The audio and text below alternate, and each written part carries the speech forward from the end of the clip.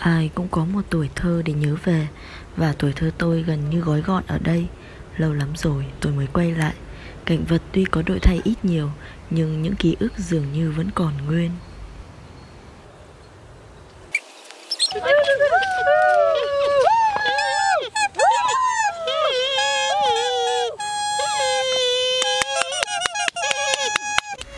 Đây là trò mà chúng tôi chơi mỗi tuần một lần. Vì chỉ có một đứa con trai Nên mỗi tuần nó sẽ được làm đám cưới với một đứa. Đứa nào đỡ được hoa của tuần này Sẽ là cô dâu của tuần sau Nên cả bọn vô cùng hào hứng.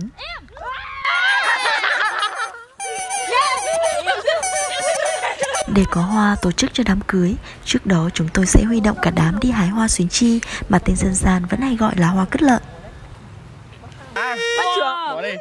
Còn đây là thứ phát ra âm thanh vui tai trong đám cưới vừa rồi. Nó được gọi là kèn lá chuối Được làm rất đơn giản Bằng cách cuộn tròn lá chuối lại Đầu nhỏ hơn cho vào miệng thổi. Nhưng không phải đứa nào cũng làm được. Và các bạn đoán đúng rồi đấy Đây là quá trình làm nhẫn cho đôi bạn trẻ bằng lá chuối. Thổi to lên cho nó to lên rồi anh thử thổi đi. Giáp nó lấy hơi mà tưởng tượng như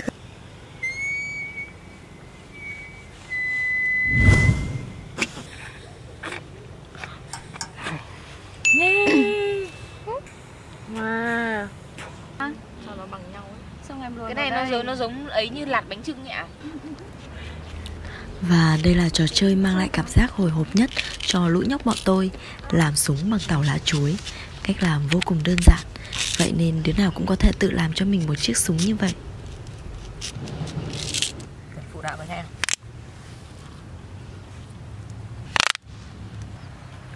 Giết chết quân đi Dạ Lên đạn, u Đây là cái gì các con Cái này không lên đạn bắn nào được. Quên. Ao nghĩa Sau khi có súng, chúng tôi lại rủ nhau đi hái phi tiêu.